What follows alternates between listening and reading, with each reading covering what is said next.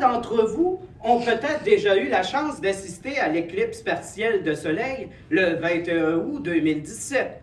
Ce fut un spectacle inoubliable. Déjà, dans la Chine antique, les éclipses constituent un événement. Plutôt angoissant d'ailleurs. L'éclipse est perçue comme une sorte de dragon qui tente de dévorer le soleil. Tout est bon alors pour tenter de faire fuir la bête. Les cris, les battements de tambour, on tire même des flèches en direction du soleil. Peine perdue, car ce que les anciens ne savaient pas, c'est que c'est un phénomène qui est dû à un positionnement très particulier de la Terre, du Soleil et de la Lune. Pour que l'éclipse ait lieu, les trois astres doivent être parfaitement alignés et la Lune se trouver entre la Terre et le Soleil.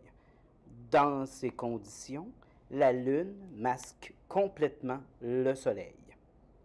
Elle l'éclipse. Cela peut sembler étonnant, car la Lune est beaucoup plus petite que le Soleil. Elle a un diamètre de 3474 km et le Soleil, lui, est 400 fois plus gros. En fait, tout est une question de distance et donc de diamètre apparent. Si la Lune masque le Soleil, c'est qu'elle est plus proche de la Terre qu'elle ne l'est du Soleil. Elle se trouve même pile poil à la bonne distance pour le masquer totalement. Si elle était un peu plus éloignée de la Terre, elle ne la masquerait pas entièrement. Le même phénomène se produit avec ma main. Lorsque j'avance vers la caméra, à un moment, ma main finit par masquer tout mon visage, alors que ma main est plus petite que ma tête. Conséquence de l'éclipse? La Lune arrête une partie des rayons du Soleil et une zone de notre planète n'est plus éclairée.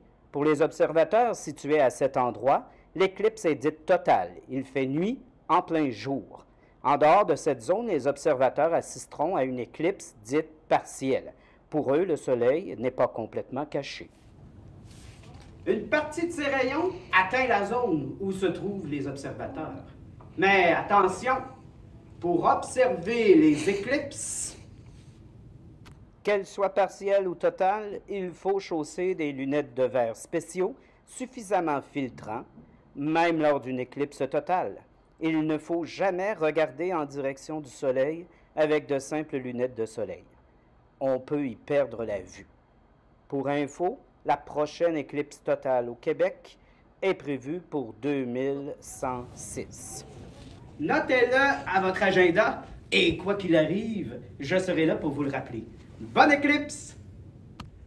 C'est quand c'est rouge que ça enregistre? C'est pas mal en train d'enregistrer, là. Déjà? Oui, Déjà. t'as juste à faire couper au montage après, tiens.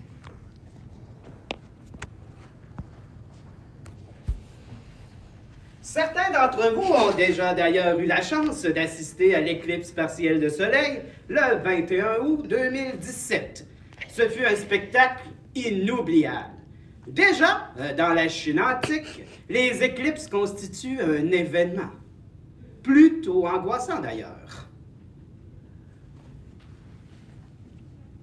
On en fait un autre.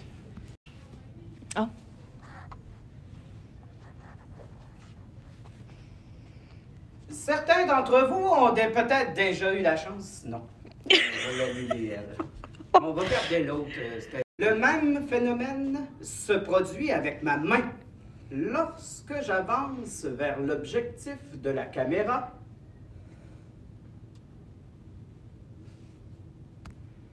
Notez-le à votre agenda et quoi qu'il arrive, je serai là pour vous le rappeler. C'est ça? Oui. Ouais. Pas grave.